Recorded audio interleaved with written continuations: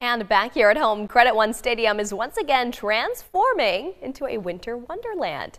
In addition to turning the stadium into an ice rink, there will also be an outdoor movie series every Friday and Saturday night, offering free holiday movie screenings on the stadium's lawn. The Skate at the Stadium event returns November 29th and runs Thursday through Sunday through the month of December.